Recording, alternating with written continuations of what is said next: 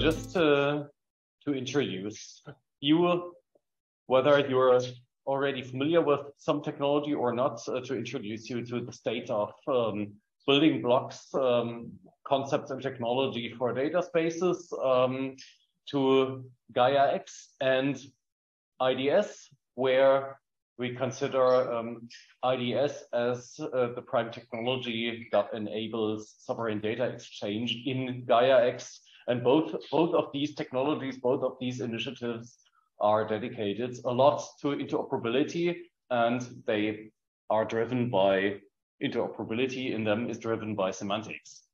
These are some slides that I stole from, um, from Gaia X, uh, the federated, um, secure, trusted, decentral, and so on data infrastructure that, um, that was initiated uh, from within Europe a few years ago and is now quite international.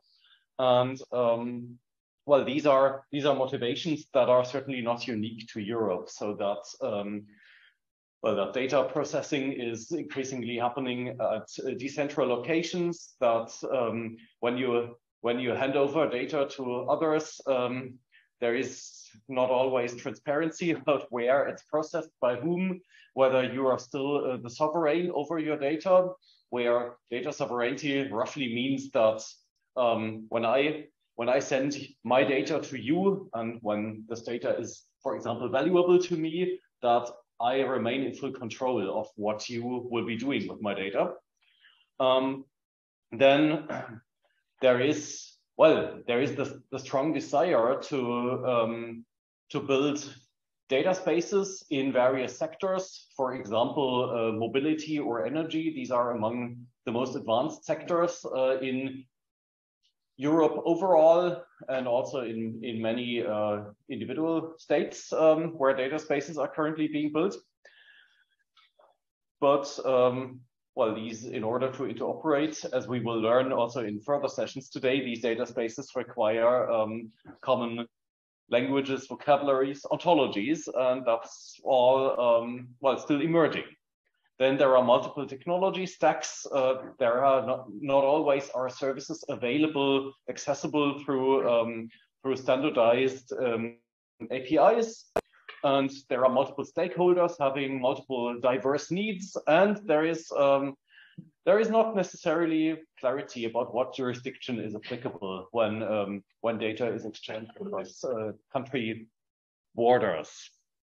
So, um, well, Gaia X is, and also, as you will see from the next slide onwards, international data spaces are initiatives um, to address this problem. So to create digital infrastructures, um, the material, um, both in terms of technology, but also in terms of governance, uh, to, to build ecosystems in which um, innovation can be created around data and data-driven services. Ecosystems in which um, in which there is transparency about who is who is offering what um, subject to what conditions. Ecosystems in which um, in which data owners are, remain the sovereigns over their data and ecosystems in which um, while the dependencies are not that well not I would not necessarily say reduced as it, as it is written here, but in which um, dependencies are made clear. For example, um, ecosystems in which um, a wide, broad range of um, um, well, existing data offerings and existing service offerings is available such that that any new party entering the markets uh, can can easily uh, make make make or buy decisions. Like lo looking at what is available um, um, purchasing some existing say service offerings and then and then putting some added value on top and selling that again for example. This is uh, the well a high level figure of um, of the Gaia X architecture, um, and that is um, well that's that explains the whole scope. Um, in the lower half of the X, um, there is um, infrastructure, as in, for example, store, storage in the cloud, uh, networking, networking infrastructure, at the top, there is there are data ecosystems with um, intelligent services and AI. This talk is not exactly about AI, but as as uh, as you, Sebastian, said in your moderation, um, it is about foundations that enable AI. For example, the as the fair data principles, um, they are not not about AI in themselves, but when you want to do meaningful AI, not just on your let's say running um, um, a machine learning model on your local machine, but when you want to do it together with others, when you want to make a business out of it, then you need data interoperability and you also need findability, accessibility, and reusability. So in that sense, um, the FAIR principles and also the architectural principles of Gaia X and, and IDS um, get data and services ready for meaningful AI. Um, so in, in the upper half, uh, there is AI, and what, what is it? That's, that, well, that makes everything work. That is what, what Gaia X calls um, the federation services. Um, IDS has a similar notion of essential services.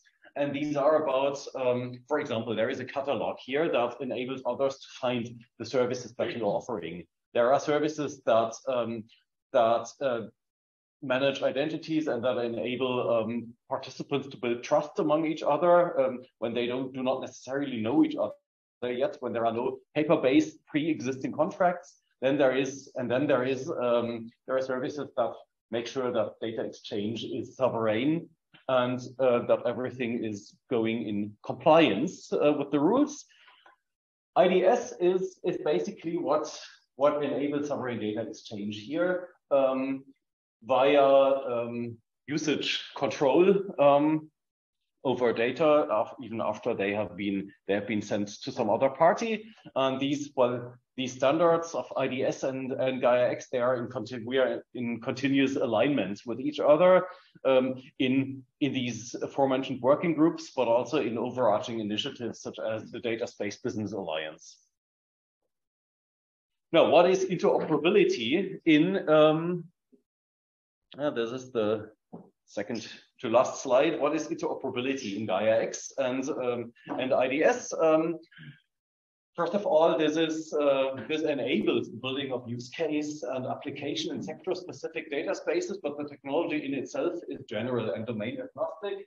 Um, it is based on um, both IDS and Gaia X, they are based on the same W3C standards and um, they are offering extension points for specific use cases. Gaia X has a focus on services and IDS has a um, IDS has a focus on data.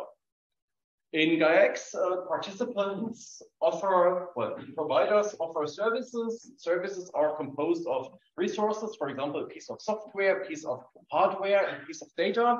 Um, and consumers who want to consume services, they get them pro provisioned by the providers as service instances and then well and then the consumers it we are mainly in a b2b system. So uh, the consumers then then um, pro provide um, let's say a mobile app um, to to their actual end users. That's that's the high level view of gaia x. Um, ids has a, takes a closer look on on data. So the focus is not so much on well what is the service being offered and then okay what what data does the service provide but the focus is on data and asking questions such as what is the endpoint uh, to which um, a certain well data product is available? And um, the the participant role the main participant roles are called as you can as you can see here data provider and data consumer. So in, an, a very simple uh, minimal IDS uh, data space is just a peer-to-peer network of some providers and consumers and all the other services, um, identity provider and so on, they, well, they, they make it, they make it work um, in, they make it work in practice when there are many participants who do not know each other and who do not know what others are offering.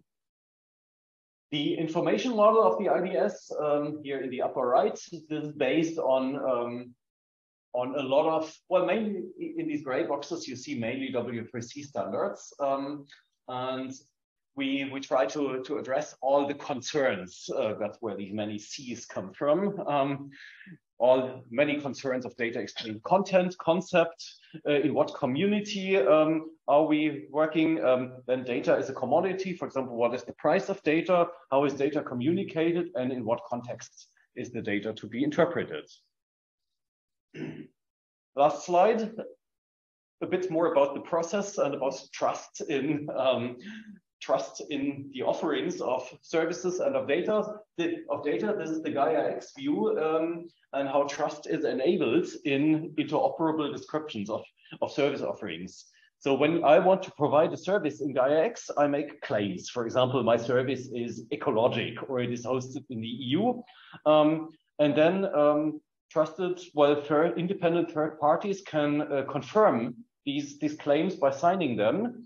And um, for whatever purpose, uh, say when I want to enter into business with someone, I can, I can choose to present some of these confirmed signed claims to others. Um, and well, the standardization and implementation of this is in progress. Gaia X has started a few years after IDS. Um, so what's currently being implemented is all this machinery that's that that helps people to go from claims to to trust, and um, yeah, that is that is currently emerging, and um, we will see a lot a lot more to happen later in this year.